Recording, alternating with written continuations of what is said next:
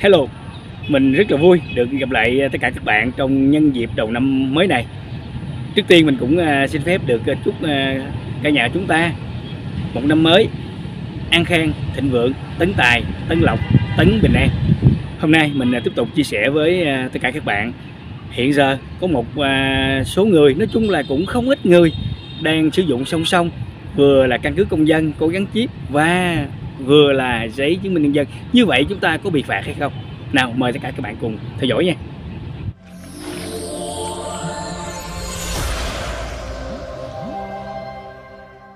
Khi à, chúng ta đi làm à, căn cước công dân có gắn chip, thì ngành chức năng không có thu lại cái à, giấy chứng minh nhân dân hoặc là căn cước công dân. Tức là chúng ta làm căn cước công dân trước đó đó. Không thu lại vì sao? Vì lý do để có một cái giấy tờ tùy thân để chúng ta giao dịch những cái công việc thường nhật trong cuộc sống. Khi mà chúng ta đã đến nhận căn cước công dân có gắn chip, cũng không ít người nộp lại giấy chứng minh nhân dân hoặc là thẻ căn cước công dân. Có nhiều lý do, nhưng ngành chức năng đôi khi cũng có nhiều nơi dễ dãi thì cho qua. Một số bạn song song đang sử dụng hai loại giấy tờ, đó là căn cước công dân có gắn chip, chứng minh nhân dân hoặc là căn cước công dân. Như vậy chúng ta có bị phạt hay không?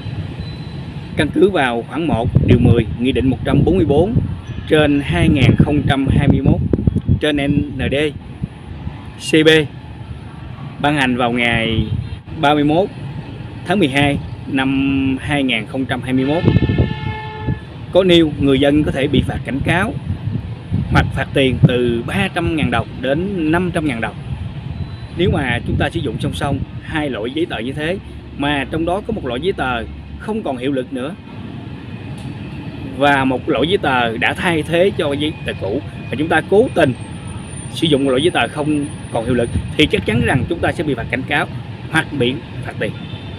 Như vậy là trong nghị định có nêu rất là rõ.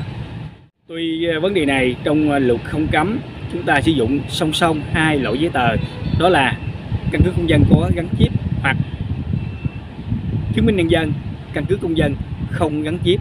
Nhưng chúng ta cố gắng sử dụng một loại giấy tờ thôi. Đôi khi những loại giấy tờ này nó không đồng nhất với nhau. Có bạn là trong cái à, chứng minh nhân dân thì ngày tháng năm sinh như thế. Và khi làm căn cước công dân có gắn chip thì ngày tháng năm sinh nó lại khác. Như vậy nó không thể nào đồng nhất với nhau được.